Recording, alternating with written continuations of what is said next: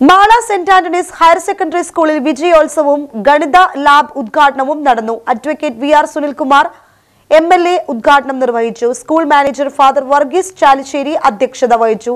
School toppers ആയ Tom Varghese K S Andros Shajil Shemirin തൊണ്ണൂറ് ശതമാനത്തിന് മുകളിൽ മാർക്ക് നേടിയ നൂറ്റി നാൽപ്പത്തിരണ്ട് വിദ്യാർത്ഥികൾക്കും എല്ലാ വിഷയങ്ങൾക്കും എ പ്ലസ് നേടിയ അറുപത്തിനാല് വിദ്യാർത്ഥികൾക്കും എം എൽ എ പുരസ്കാരങ്ങൾ വിതരണം ചെയ്തു.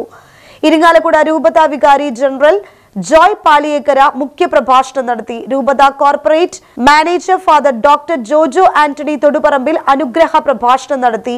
P T A president Sabu Paul management trustee Lindish Anto മുൻ principal V A Lilly school headmistress K P Reena staff secretary James Abin Stanislaus principal K A Varghese programme convener John C John Paraykka എന്നിവർ സംസാരിച്ചു.